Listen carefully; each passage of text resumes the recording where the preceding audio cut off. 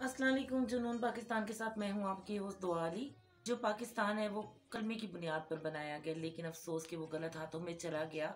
और आज जो मुल्क के हालात है, जो मुल्क में तहफ़ के हालात है, जो बेसिक हकूक़ है, वो किधर हैं, कहीं भी नहीं है बाबा।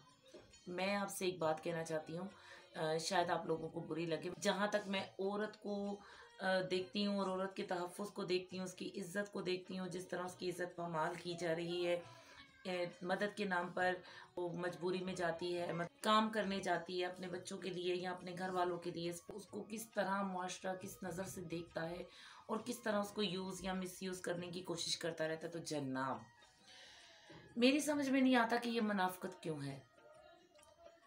जहाँ पर औरत का तहफ़ सबसे पहली अवलियत है वहीं पे औरत की इज़्ज़त को इस तरह पमाल किया जा रहा है जैसे कीड़े मकोड़ों को पाँव के नीचे रोंद के बल इंसान चले जाते हैं और उनको पता नहीं चलता।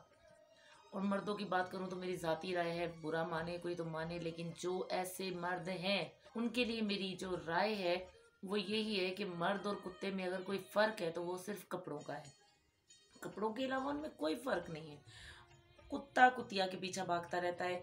एक नहीं, दस दस, बीस बीस, पचास पचास उसके पीछे लग जाते हैं। इसी तरह औरत के पीछे भी यही हाल है। एक औरत घर से निकलती है। शिकारी कुत्तों की तरह उसकी ताक में लगे रहते हैं।